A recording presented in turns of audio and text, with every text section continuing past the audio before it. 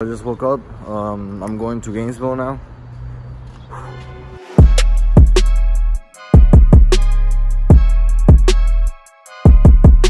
Alright guys, I'm leaving. Will this be okay on the road? I'm not sure.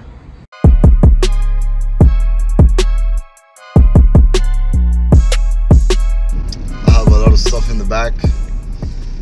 It's a pretty sad day, you know, because I'm living in Miami and I'm not gonna get emotional because I already got emotional in my last video.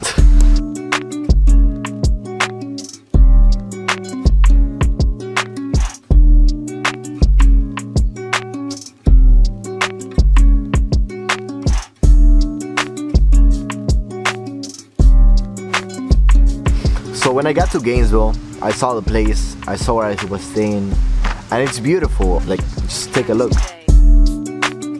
It's spacious, it's beautiful. I mean, whatever you find appealing in a place where you can actually live, that's where I live. But then I've noticed that there was one inconvenience. I found that when I moved here, that the place was not furnished. At least my room wasn't furnished, meaning that it didn't have a bed, it didn't have a desk. But of course, the person who rented me this place didn't even tell me anything. But then I thought to myself and I was like, it was actually my mistake because I didn't even ask if it was furnished or unfurnished. Like, you have to ask. People don't care about you. People are not gonna tell you unless you ask.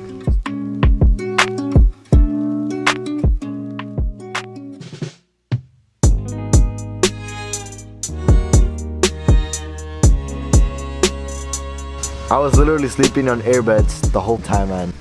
I had to buy a bed. I had to buy everything, honestly. Literally, fuck. Anyways, I went to Walmart like 10 times, Amazon, trying to buy shit, you know? Because I would go and then forget about something and then have to go again and have to go again. And like, it was that process like that. After literally two, two to three weeks of living here, and finally, finally, I can say that my moving process from Miami to Gainesville is complete.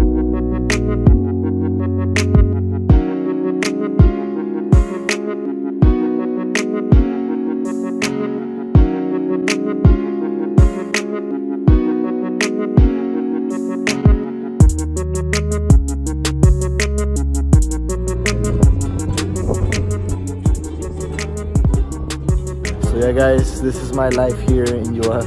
Um, you guys can see I moved. What's gonna be my next video, you might be asking. The next video I'm gonna be making is probably gonna be interviews. Of course, um, we have the people singing right here and stuff. Just relax, you know, just happy, you know, that, you know, that I'm here. Anyways guys, thank you guys for watching. Subscribe, comment, like, like this video please, because I love it when you like it. Alright, peace.